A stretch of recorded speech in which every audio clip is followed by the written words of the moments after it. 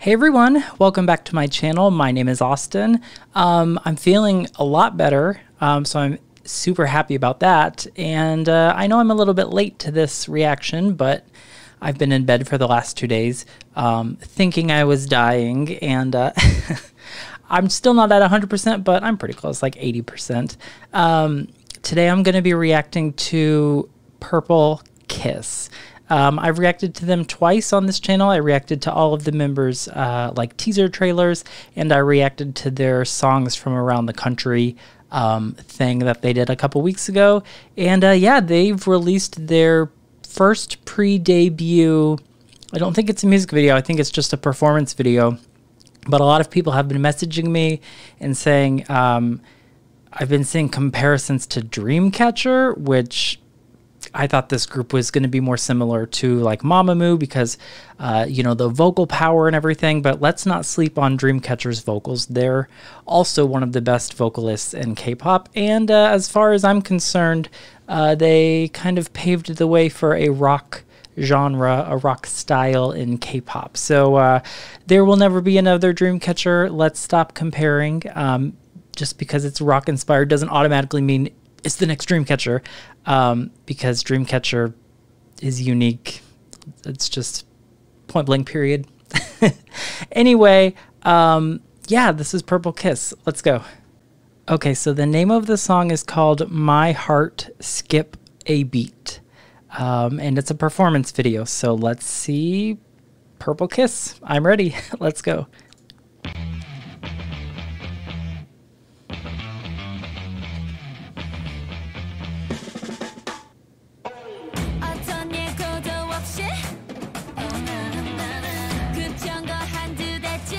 Okay. She's beautiful.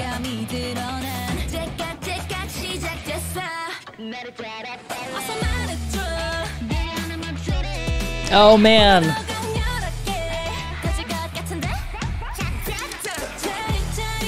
I see what people are meaning. This does hit harder.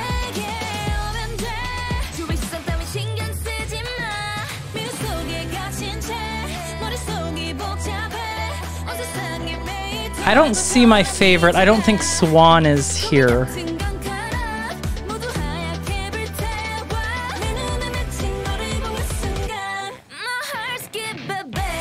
Oh.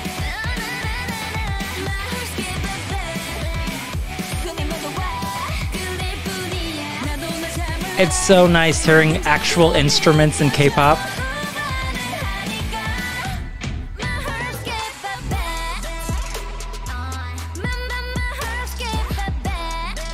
Actual guitars, actual percussion, not just a computer.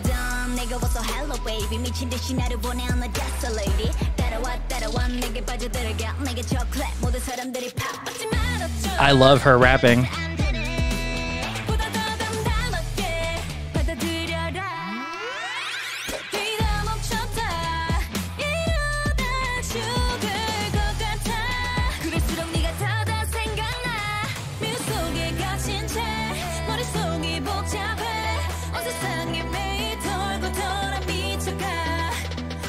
I understand the Dreamcatcher comparisons, though. This is a little bit more pop, though. Not quite as hard. But these girls are definitely very talented.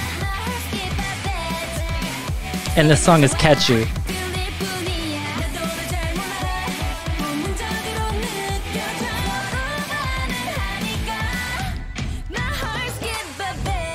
Beautiful. They're all so pretty. Oh, she's my favorite, I think. Her vocals blew me away in their their video.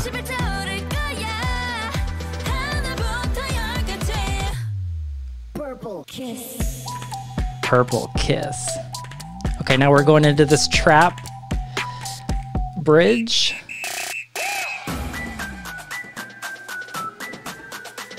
Hey.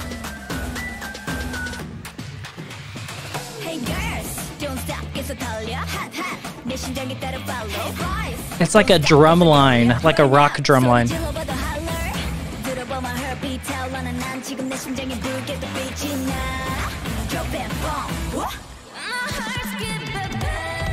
Yes.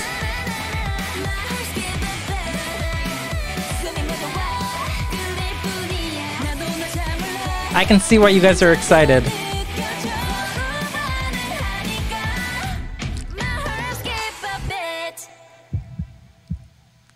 Man, that was super catchy. Wow.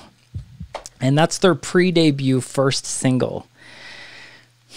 I've heard that this is just like a concept and that not all of their songs are going to have like a rock edge, which I mean, that's fine. Groups can have different sounds, but man, that that sound suited them. It sounded very good. It was super catchy. Purple Kiss giving us the vocals, giving us the dancing. I was super impressed with the rapper because um, she, I don't really know much about her at all. Um, yeah, that was Purple Kiss. I'm so glad that, I mean, I was going to check this out anyway, um, but everyone was like, no, this needs to be the first video you check out when you come back from your sick break. Although I was still posting videos. Anyway, I hope you enjoyed it. Um, regularly scheduled videos begin again on Monday. I'm going to be doing my EXO reactions. I'm going to be um, my random Wild Wednesday videos, my Throwback Thursday. All of the regular stuff starts again this week. So thanks for bearing with me while I was dying. while I thought I was dying, it's actually just a sinus infection. And my jaw's kind of acting up because uh, when you have TMJ, that's a disease I have and it sucks. And especially as a singer, it limits your ability to open your jaw all the way. So it makes you not a not as good of a singer as you could be. So that sucks, but uh, it's one of the things as a vocal coach that I can speak to and sorry, this is a tangent, but when I have students that have jaw problems, uh, TMJ, lockjaw, whatever you want to call it, it's a disease. Um, I can speak to it a little bit better because it's something that I deal with. You can still get a great sound, you just can't open your mouth as much.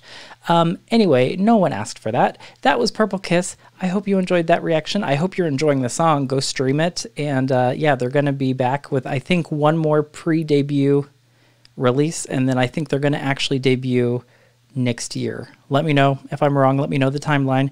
I don't know if Swan is going to be there, which is sad because based on the teasers, she was my favorite. I loved her voice so much. And uh, yeah, I'll see you guys next time. Bye.